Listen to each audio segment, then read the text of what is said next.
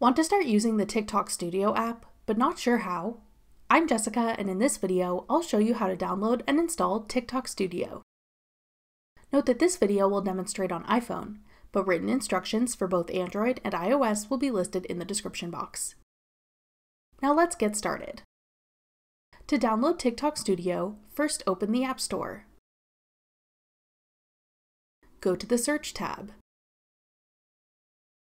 Then type in TikTok Studio at the top. Tap TikTok Studio when it appears in the search results. Then tap Get. If prompted, use Face ID or enter your password to confirm that you want to download the app.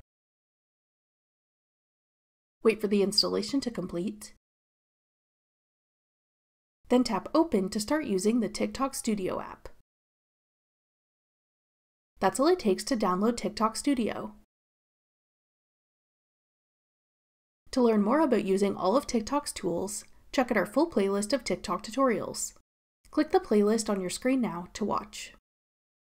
Thanks for watching. If you found this video helpful, we'd love it if you'd hit the like button below and subscribe to our channel.